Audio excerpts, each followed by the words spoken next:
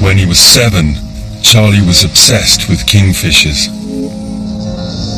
When he was 13, just looking at animals wasn't enough, and he was compelled to take pictures of them.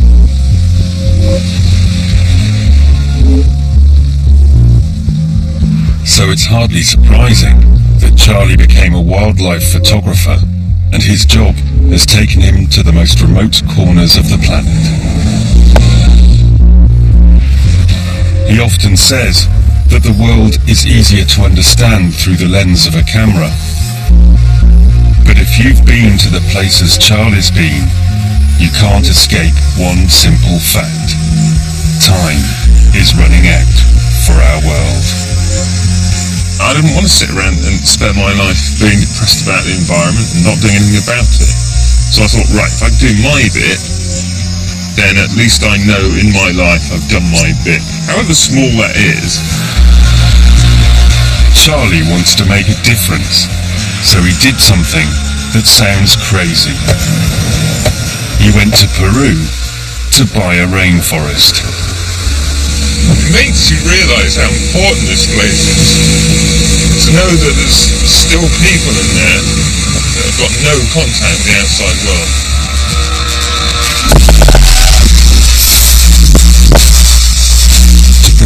Forest, Charlie needed to stop the illegal loggers, ranchers, and gold miners from cutting it down. ¿Cuánto nos podría ofrecer por este arbolito para no tumbarlo? The more time he spent with local people, the deeper and deeper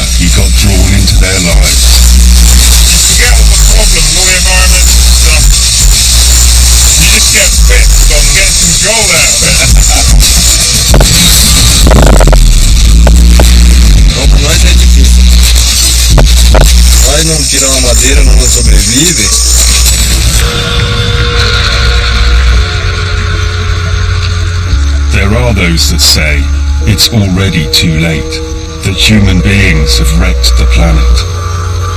But if we're all going down, Charlie's going down fighting.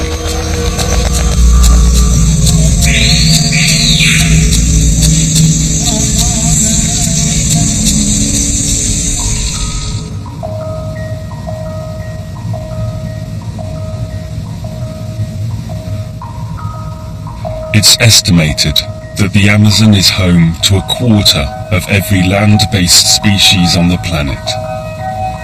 And yet, we've studied less than 1% of this ancient rainforest. It stood for more than 20 million years.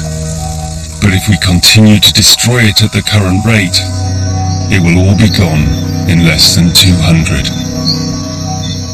But the most staggering fact about the Amazon is that we've been hearing for so long that it needs protection that we just don't care.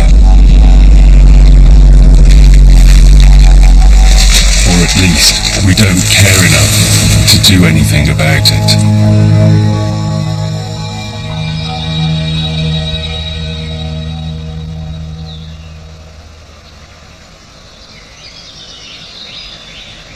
I got a phone call one day from my mate in Peru, and he just said to me out of the blue, "Do you want to buy some rainforest?" And really, without even thinking about it, I just said, "Yeah." So I've gone and bought a hundred acres of forest. Well, me and your mum have bought it. Why did you just buy it when you have never seen it? It's a good question. Yeah, I don't know. It's a perfect question. I didn't really tell Philippa immediately. I just went ahead and did it. And subsequently, she has gone to great lengths to point out all the gaping holes in my knowledge of the place and my trust for people. I knew what he was going to do. From the moment he started even mumbling about it, I knew where it was headed and I knew why he needed to do it. We all just need him to go there, see it, and then just come home.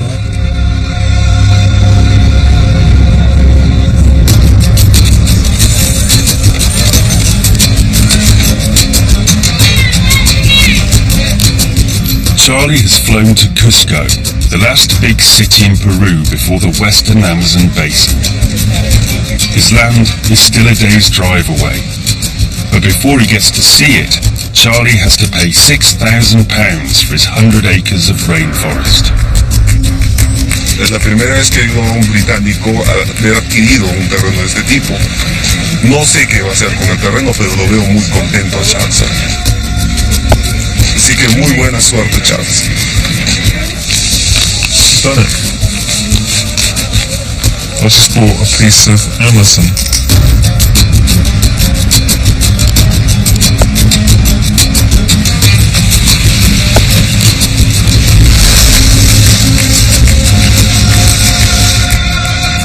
This road's hilarious. And we've been stopped going up now for about two hours. It's just on the other side of this hill. Problem is, this hill is the Andes and it seems to be going on forever. And the thing is, I'll get there and it just looked like all the other forests. That'd be my bit.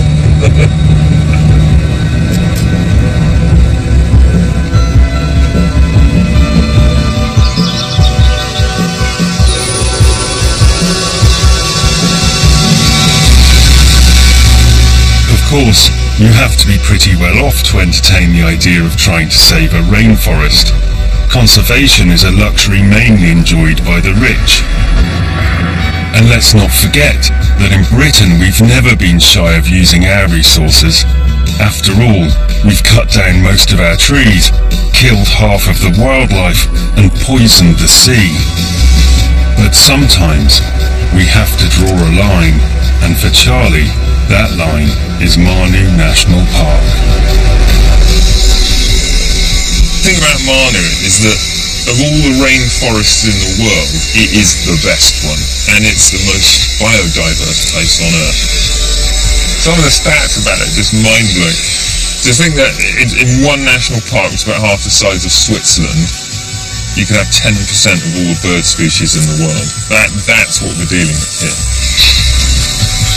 Although it's a protected area, Manu is under attack from illegal loggers. But to get into the park, they have to go through Charlie's land, which is strategically placed at the end of the only road for miles around. And one of the reasons he bought it was to find a way to stop people smuggling valuable hardwoods out of the forest. Blimey, that's it. It's a shame it's pitch black, isn't it? But before he gets to grips with the issues facing this corner of Manu, Charlie wants to see exactly what he's bought.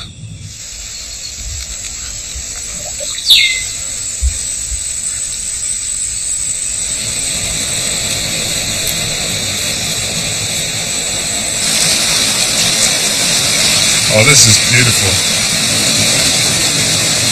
When you think of the Amazon, South America, all that, that's what I'm thinking of.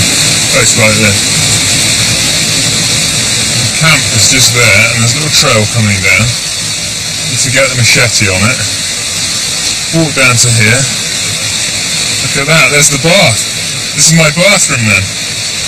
It's gotta be. Beautiful.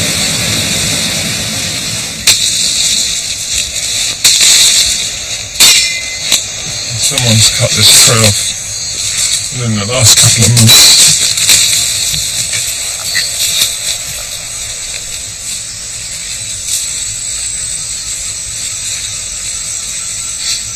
This looks nice, but it's not. This is knackered forest.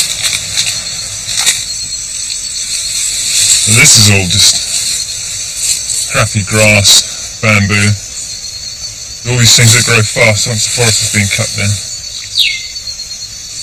But the diversity here is unbelievable. Probably being stalked by about three or four different species of mosquito at the moment. And there's cracking bird life here. Insect life's unbelievable. It's still important stuff, secondary forest. It's still packed with life. And, um, you know, now I'm here to protect it. It's only going to get better, isn't it? So, Who knows what we could end up with? At the end of the first day, Charlie's only explored a third of his land. But it's clear that the big trees were taken long ago, which is why the loggers have moved into Manu. But the park authorities are so underfunded that there's little they can do about it. There are only 26 guards to patrol 17,000 square kilometres, so Charlie's taking matters into his own hands. I bought the land because I wanted to do some good. So the idea now is I'd stop illegal loggers getting into the national park and logging it. There has to be rules, there has to be regulations, there has to be decent protection for Manu National Park. It is so important, not just in Peru but to the world. I know it's only a sign with some words written on it. It kind of makes it official now. And it says, don't mess around with my bit of forest. Not on my watch.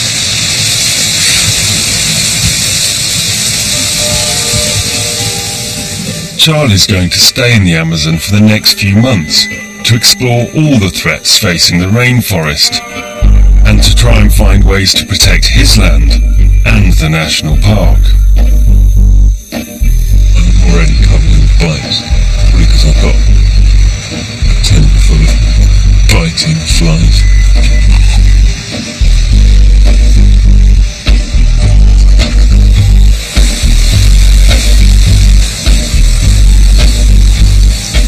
Charlie's job often takes him to remote places, but he rarely contacts his family. If you get homesick in the middle of the rainforest, you'd soon go mad with the bugs and the heat.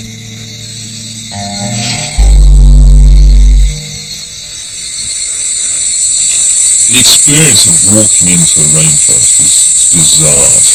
It's claustrophobic, it's hot, it's deeply uncomfortable, and you can't escape it. There's no way of escaping the feeling you get from it. And then you're basically a walking salt cellar. There's very little salt in the Amazon, so the moment you walk in and start sweating, everything wants a piece of the action. So you, you get covered with insects all trying to get salt off you.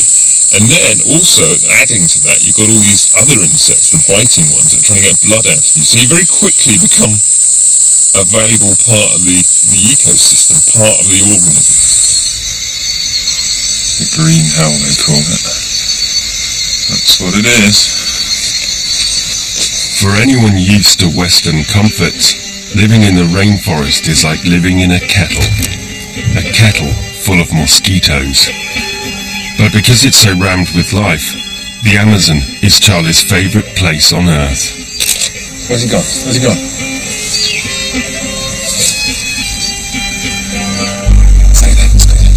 There. No. What's the problem with this? You think, oh yeah, I'll just document all the insects I find. All that, there could be half a million. I'll be doing this for the next 500 years. I got you, I got you, I got you.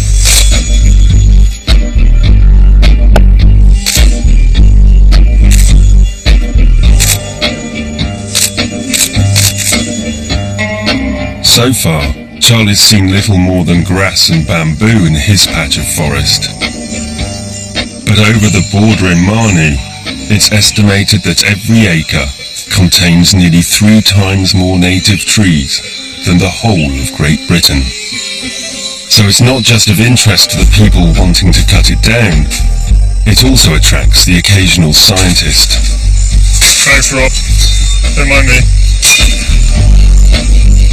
Rob Williams is a conservation biologist, and Charlie's nabbed him to explore the area of his land closest to the national park.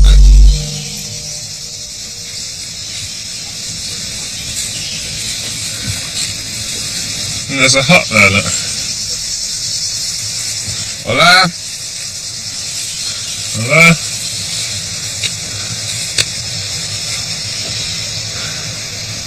Got some chainsaw blades. That's all this room. That's coca. What cocaine? This is the coca leaf that they, yeah, that cocaine's made from. Someone's got a habit, it, haven't they?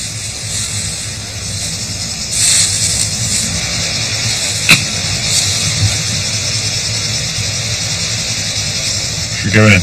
Yeah. That's not good.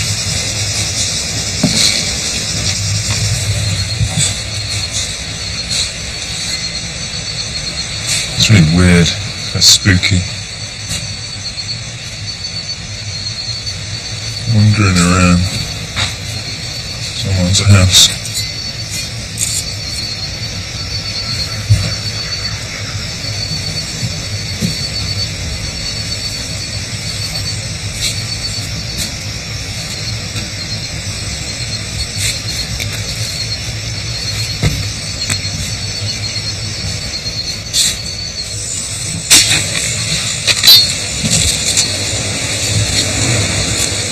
And there's some forest that's been cut down.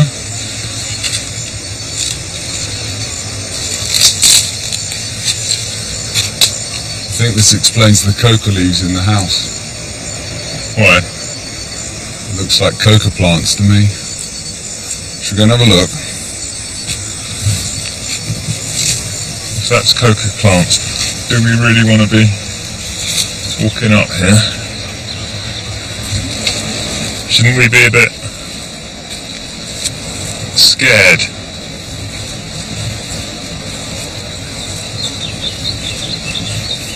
You've got quite a production here, Charlie.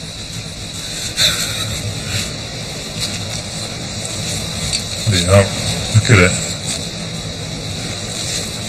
Someone's been here recently, uh, pruning and harvesting. You What I mean, within days.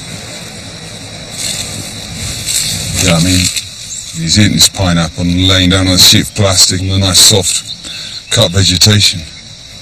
Um, so, That's just uh, that's just blown a massive hole in the rainforest bottle.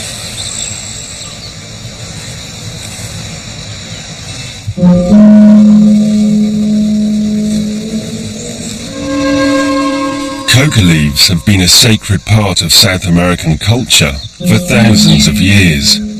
But Peru is now the largest exporter of cocaine in the world, and Charlie's ragged patch of land is the reality of what's happening to the rainforest.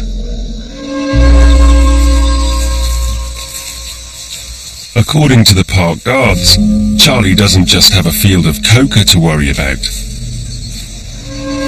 Somebody has written a reply to his sign on the border of his land.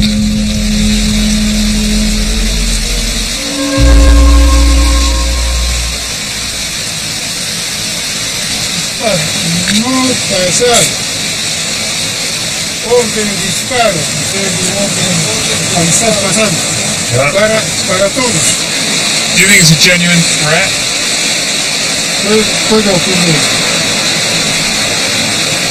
Pasan el río, cruzan y al frente. Aquí por el río.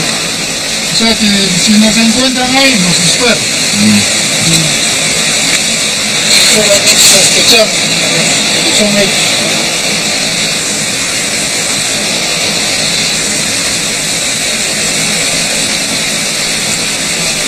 What a massive cock up.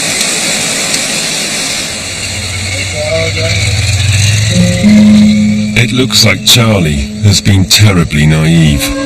It's rumoured that the guy who owned the land before him is a local crook called Tito, who did time for processing cocaine. The guards suspect that Tito and his son Ilias are one of the families logging the national park, and that they are still using the hut on Charlie's land as a base.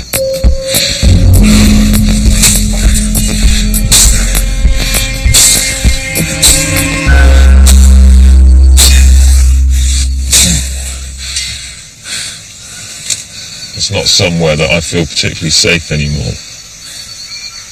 it worries me that any moment, you know, a load of guys on motorbikes could turn up with guns and do me over and rob me. And that's not really what I had in mind when I bought it.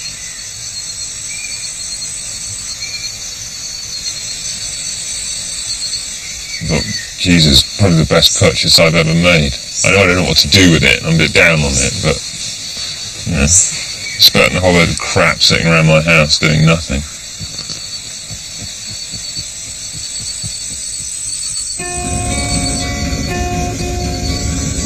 Oh, I've bitten off way more than I can chew. I'm useless at doing anything but take photos.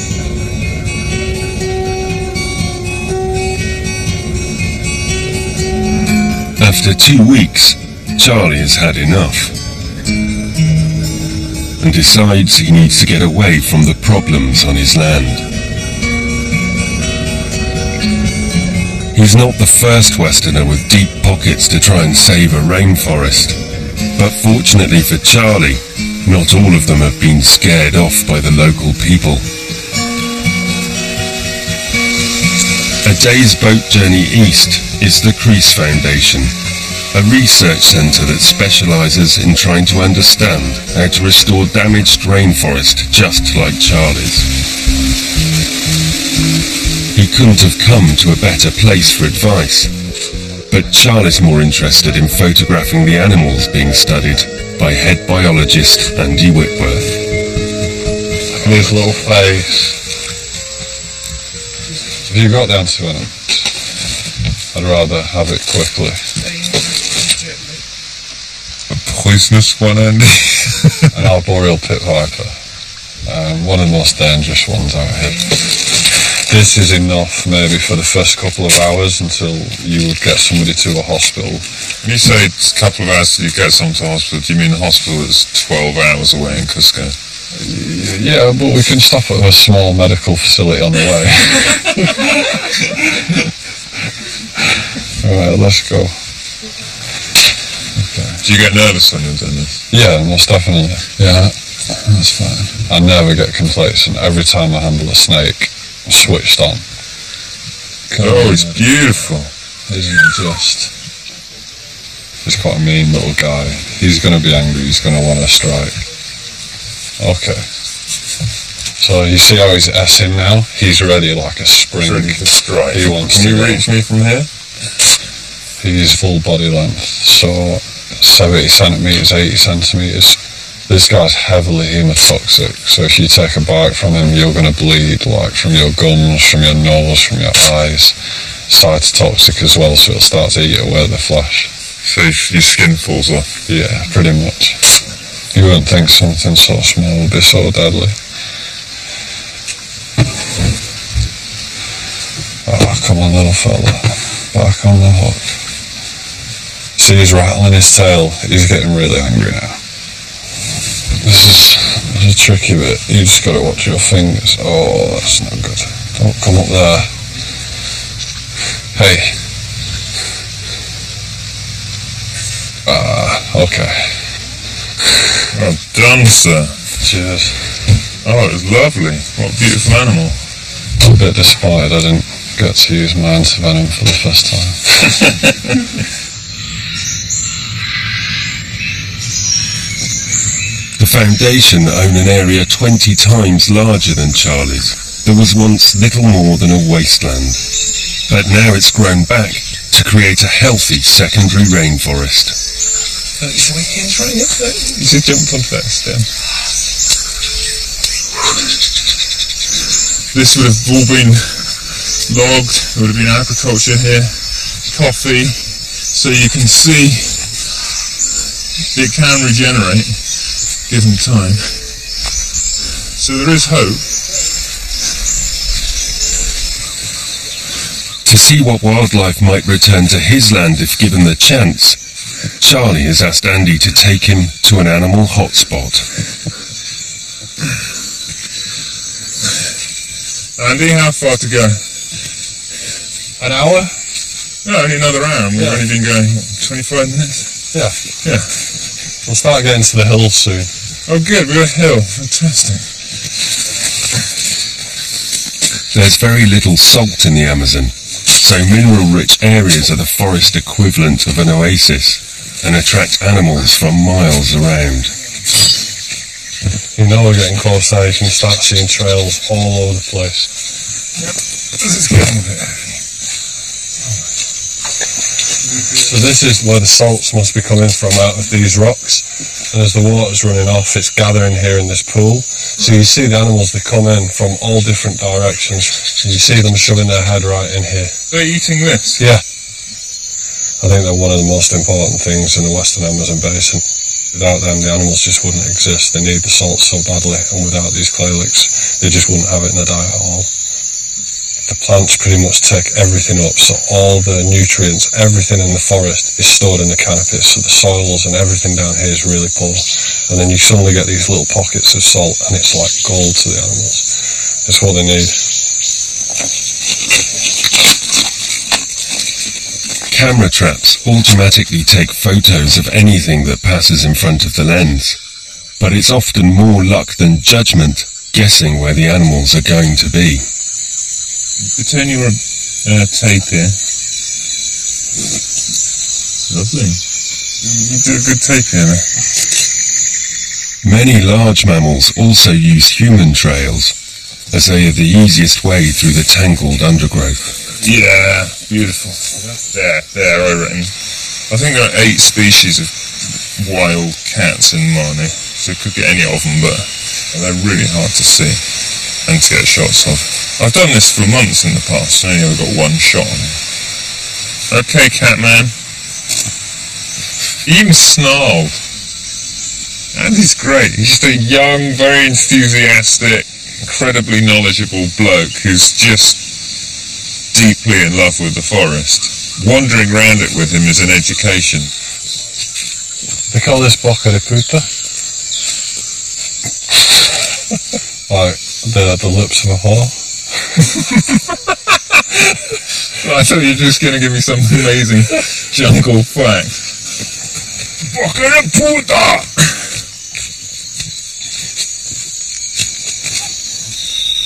Nice tree there. Yeah. This is uh, this is Cedrolinga, Charlie. So if you planted a few of these on your land at the moment, these cedars, this forest here is pretty much what your your area should look like in sort of 30 years' time. Really? Yeah. Oh, this is beautiful. The real problem you're going to have, Charlie, is like when you start getting the trees like this and they get up to a decent size, you're going to get people coming in. They're going to want these trees then. So it's a sort of vicious circle, isn't it? You make it better, create a nice forest, everyone's going to go and want to kill it and chop it down again. You, you've got to be nuts to do something like that. But uh, I think I'm stupid. yeah, that's true. I'm still reading about the fact that I bought the worst bit in the most dangerous place in the area, and everyone's laughing at me. And I don't really want people knowing I'm there and knowing what I'm doing because I don't want to get shot or robbed or any of that stuff. And I'm vulnerable out there. I'm vulnerable camping in that place. it'll be a tough job.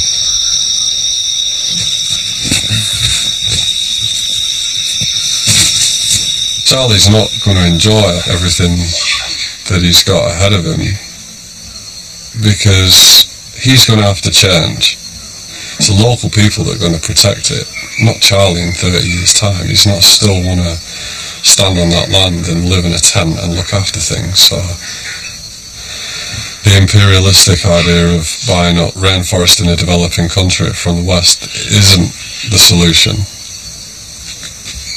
Charlie can't save that land until he convinces local people why it's important to do it. And that's the challenge.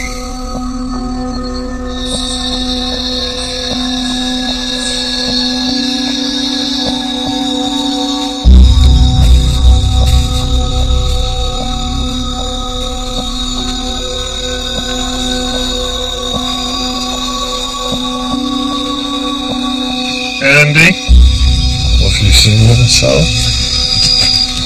fresh jag. Oh yeah, that's Jag. That's fresh. Yeah, you can see how wide that is. Got a camera trap up here? Yeah, we've got a camera trap not very far, but it's definitely a jaguar pod. Could be watching us now, couldn't it? And if it is watching us now, what are the chances of us seeing it?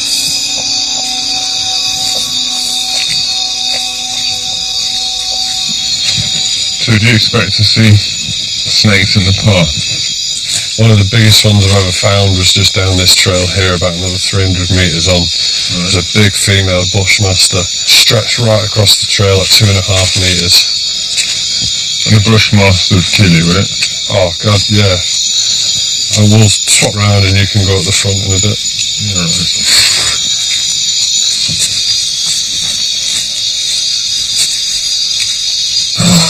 my god. Oh, There's my camera trap. look how wide that is. How nervous am I? It gets short, really wide.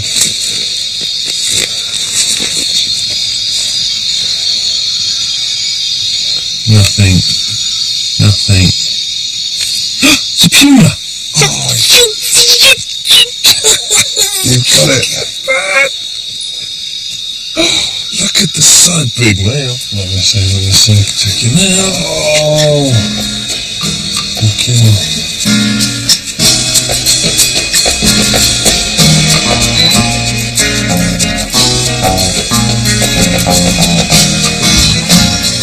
The camera traps reveal far more wildlife than Charlie expected to see in just a few days. But only 10 years ago, this area was hunted out, and there were practically no animals at all. The thing that's hit me more than anything else is the speed which this forest has recovered. Oh, yeah. Oh, oh, oh, oh he's staring at. And that made me realise actually that that really in a fairly short period of time I could get my bit of forest back up to being you know, decent, good land, full of wildlife, full of diversity. So it's that's the main I think chunk of inspiration I've taken out of this place.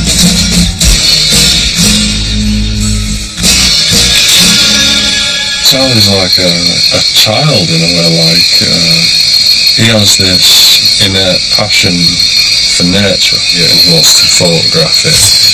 That's his way of telling the world about why something's so special.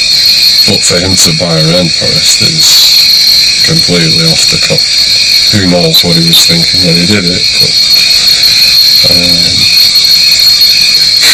yeah, he's going to learn a few things.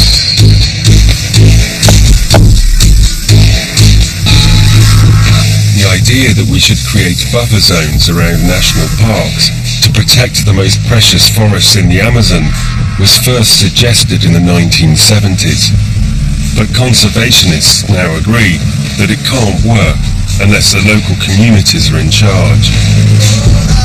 Unfortunately, Charlie's too scared to go back to his land and face the people he thinks are logging Manu. And yet, wherever he goes, he sees more reasons to protect the park. Slow down, slow down. Just the boat at speed. This is unbelievable. Just there, this four uncontacted Indian women. My heart is going completely crazy. Everyone keep dead, dead still. They're, they're shouting at us. Got no idea what they're saying, obviously.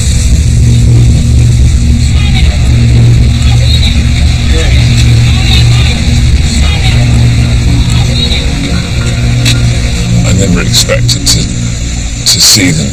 You hear about them, but you just never expect to see them.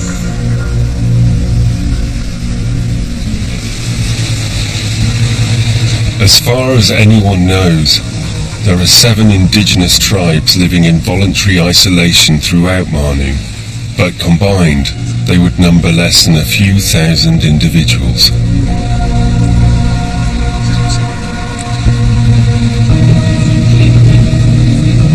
Though they are rarely seen and often aggressively defend their decision to be left alone, our world is not totally alien to the tribes. Missionaries and illegal loggers have been known to lure them from the forest with gifts of cooking pots and machetes. But any contact risks spreading disease and could wipe them out forever.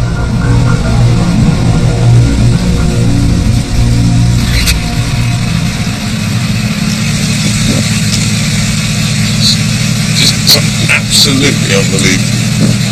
Oh, what I just seen. You know what? We are 30 miles from my land and there's with women on the beach. That's incredible, isn't it?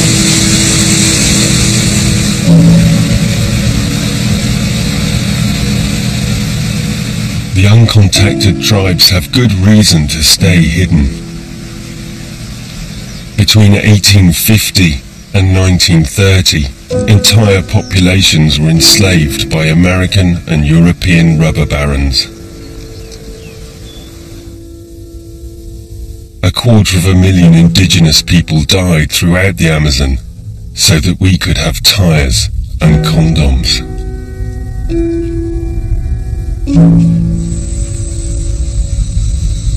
But many of the tribes did not return to the forest, and two days from Charlie's land is the indigenous community of Belgica. Over the past hundred years, the Yine have embraced many aspects of the industrialized world, but they still see the rainforest as their home.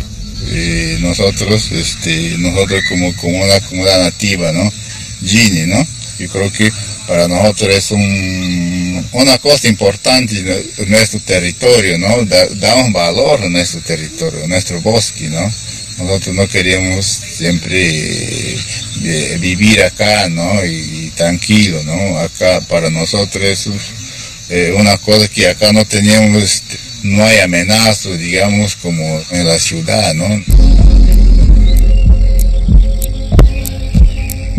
To support the community, the Yine have a license to harvest a limited number of trees from their tribal homeland, a 500 square kilometer primary rainforest.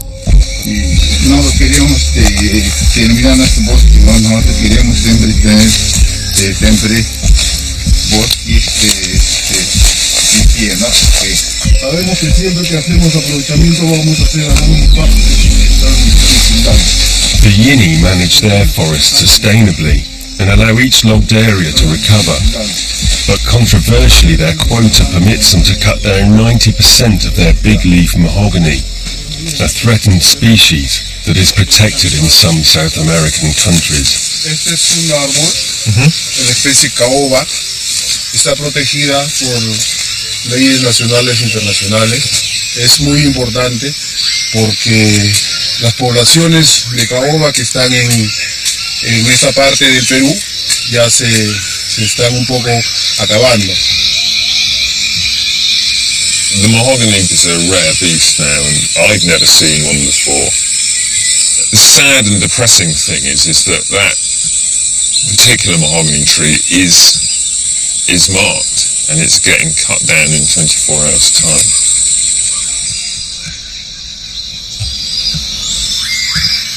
Last year, the Yine cut down nine of the 150 mahogany trees on their land.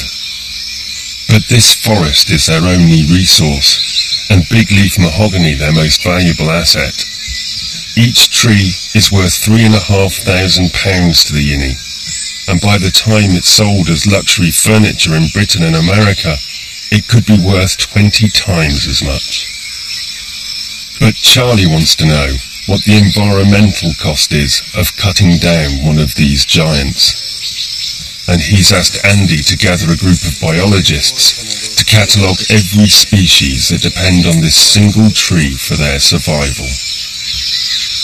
A bioblitz is a bit of a sort of funky name for some scientists looking at stuff.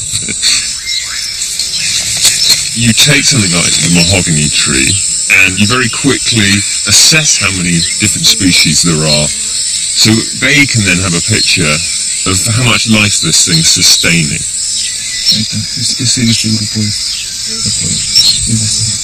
I'm going to photograph everything we can get so that we've got a picture record of it, not just a written record of a Latin.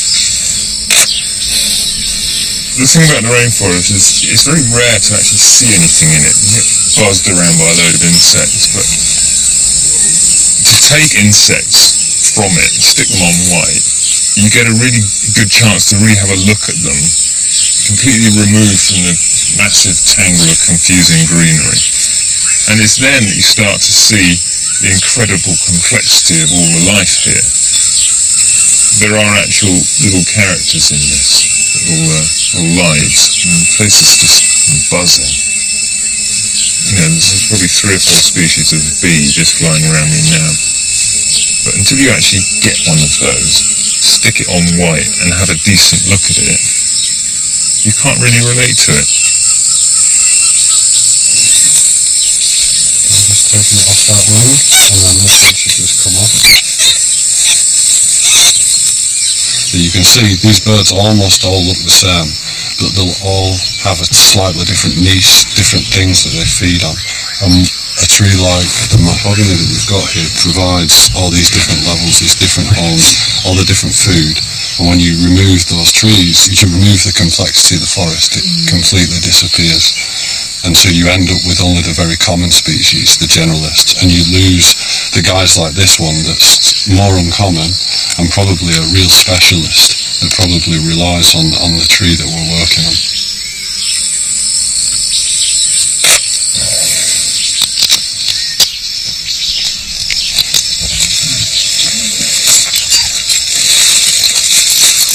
A ver, mirar con su- ver, han visto, ¿no? A ver ahora. Cómo un árbol, ¿no?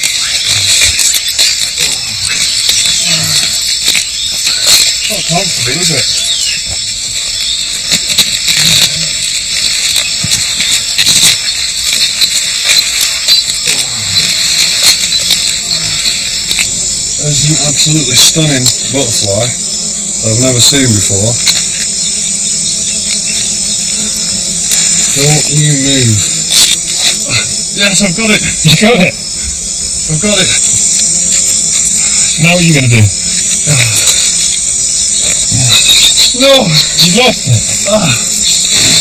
No. Ah. The dirt and the bees is just so painful.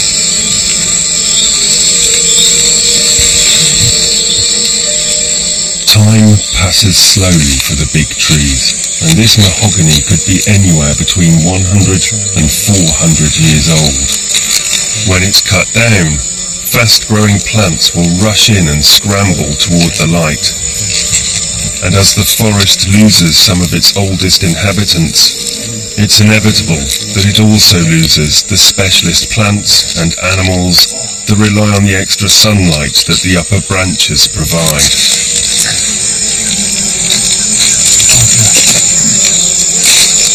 I reckon these top ranches in the far back, there's some beautiful pink flowers. Oh, I see them. You see them? Yeah, I just see them out there.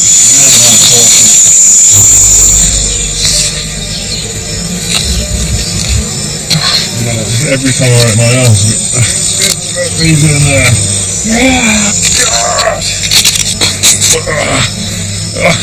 it's just crazy! It's crazy! Oh my God! Nice. How can something so incredible just be so awful at the same time? Do I get the feeling the tree's trying to say something?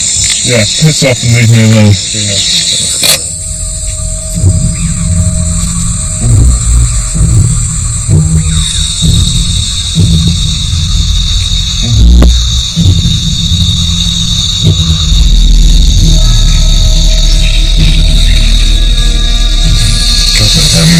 many are actually catalogued today I sat and photographed. But that's just the tip of the iceberg. It's depressing not just because of things coming down, but all these little lives that I looked at today. Everything's changing for them as well. So you're not just cutting down a tree, you're destroying the whole ecosystem, the whole world. It's totally bizarre to me. There should be a demand for, for this. Because people think it looks nice. There's no reason on earth anyone in Britain needs anything made from mahogany. Yet, we're still importing more mahogany than most other countries in the world.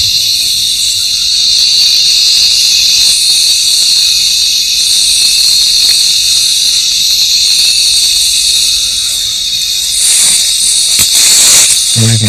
Yeah, the station. Rapping. Yeah. Yeah.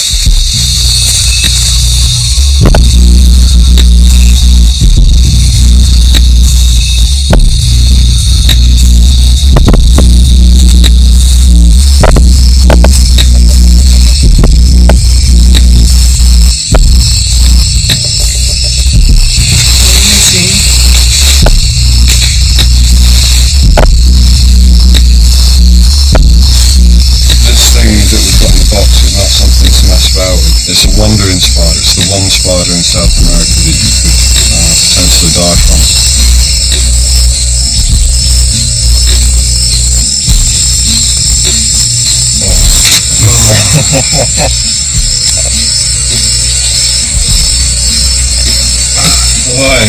That was on my finger.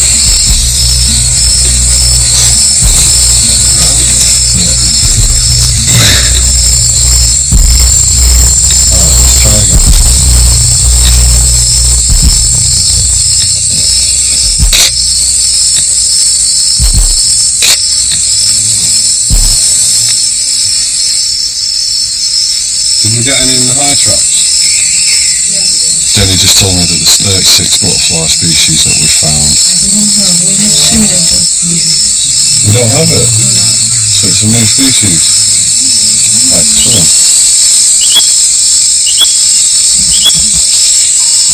In the whole of Britain, there are seven native species of amphibian. Around one tree in the Amazon, the team found 21.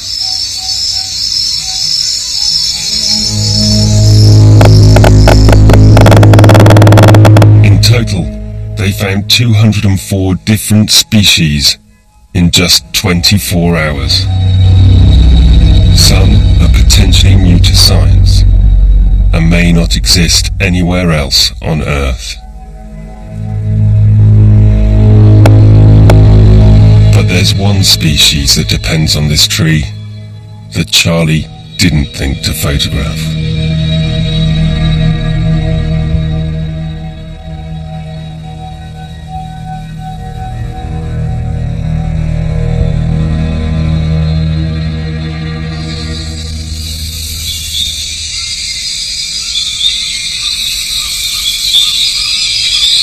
I suppose the thing that gets me is I've watched since I was a kid and been taught at school all about the Amazon and rainforest destruction and logging and all these environmental problems. You know, I'm 40 now and those problems haven't gone away. It's all still happening.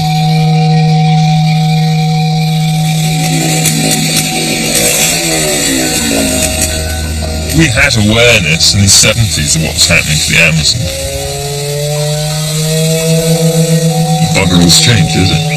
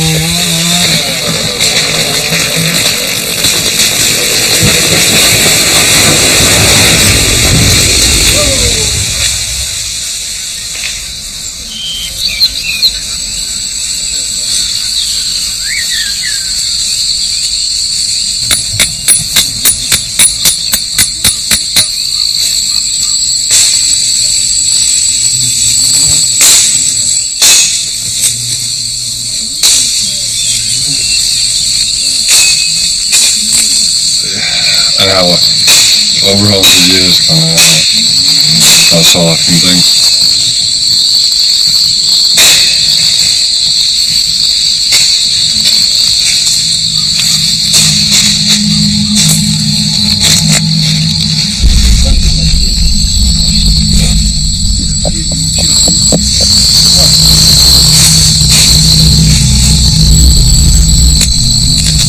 Nice tables. Coffins.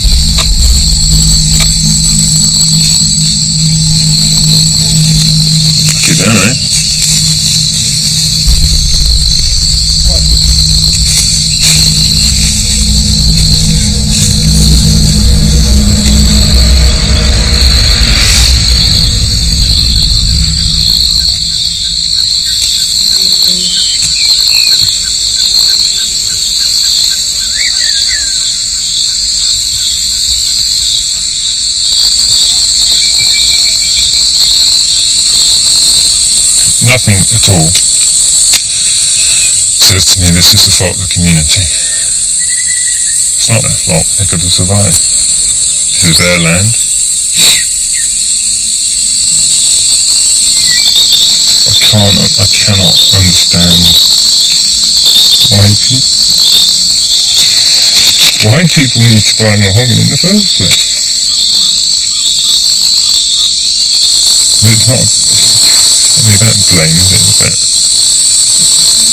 but trying to sort it out so it doesn't have to happen.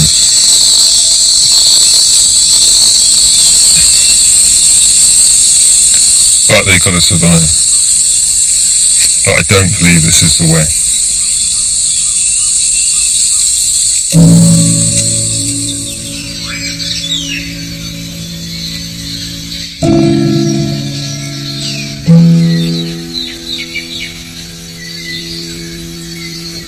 Embarked on this project, I thought it would be much more simple. I thought I knew the problem and I knew the answers, and actually, the more I understand it, the less I understand it. Because it's a very complex situation, but I feel like at least I'm doing something.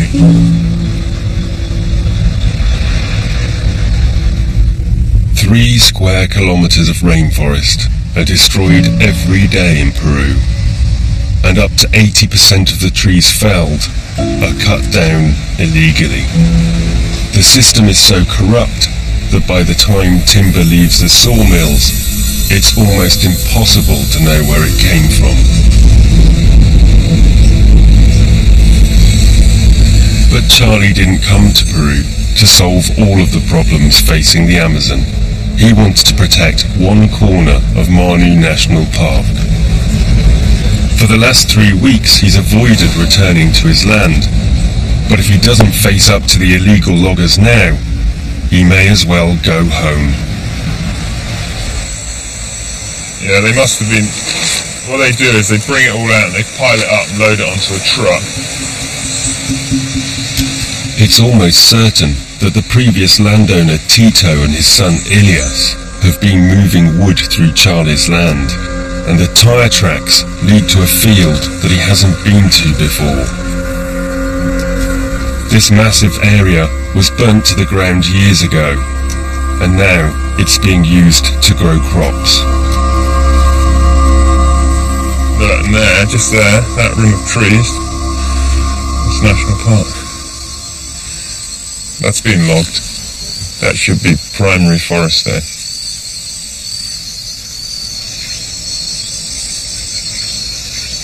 If Tito and Ilias have been here recently, then it's possible they're still in the area.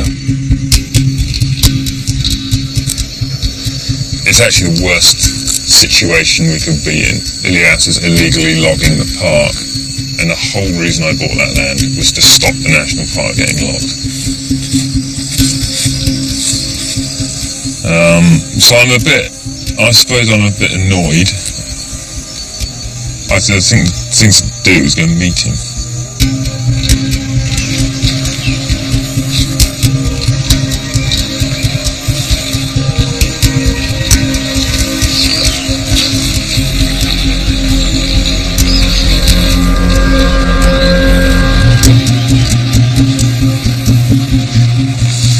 Fresh footprints. Yeah. That's, that can't be more than half an hour old. This heat would have dried out by now. It's weird, isn't it? Tracking a human.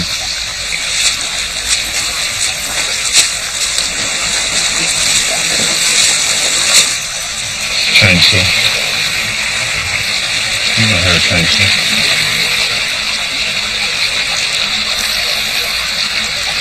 I'm going to measure this one up. I don't really want to bust Elias illegally logging in the middle of nowhere. Uh, it could actually be quite dangerous.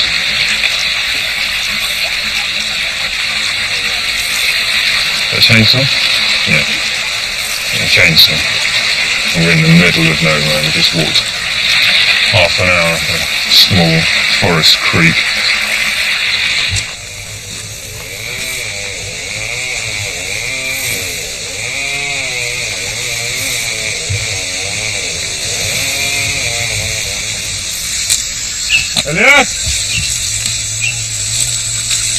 Elias! Hola! Hola!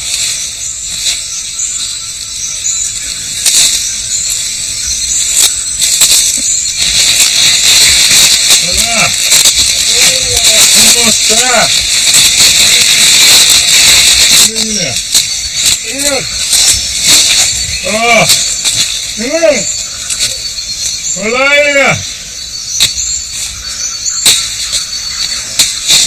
Oh. Mire, ¿cómo está? Oh. You are a hard man to find. oh, we need to we need to talk about the land. You have somewhere to sit and chew your coca while we talk about it?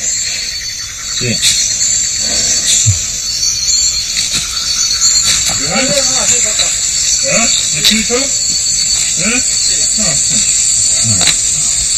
Sí, nada más es para decir con mi hijo, por parte de mi hijo.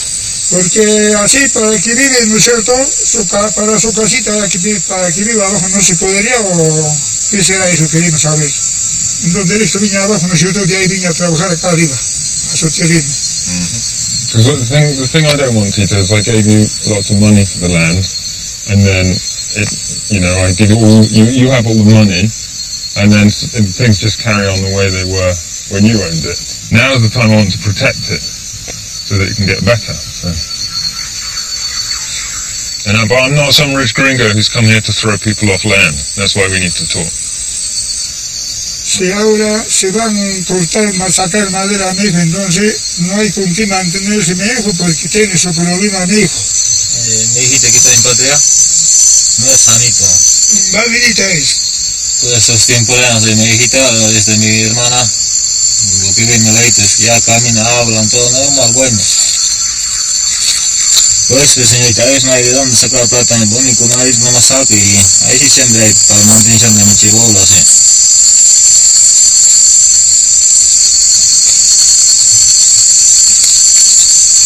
To say to that. Not sure I believe in it. Anyway,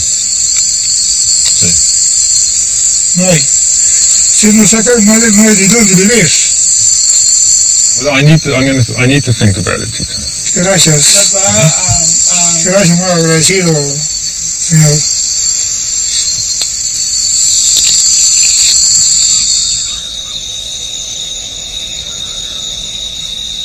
It's ba- It's balancing the, what I suppose ultimately what I value more. Do I value protecting Manu more than I value the family? And that's what's complex for me because I probably value Manu more. So I've, I've really got to um, I'm gonna put my sort of pity and sorrow for them aside and get on with the job that needs doing. That's my thought at the moment. and, and that means booting them out. They need to leave the land.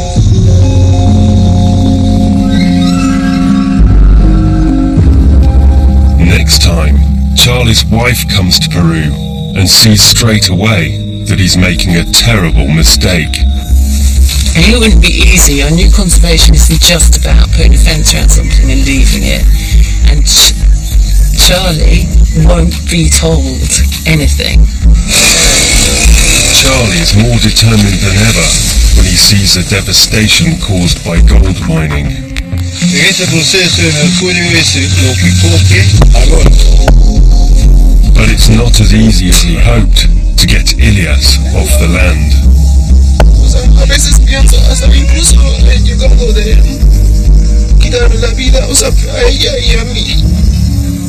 Then what sort of bastard would I be if I did? Go on an interactive journey with the Open University to explore the challenges facing the rainforest. Go to bbc.co.uk forward slash rainforest and follow the links to the Open University.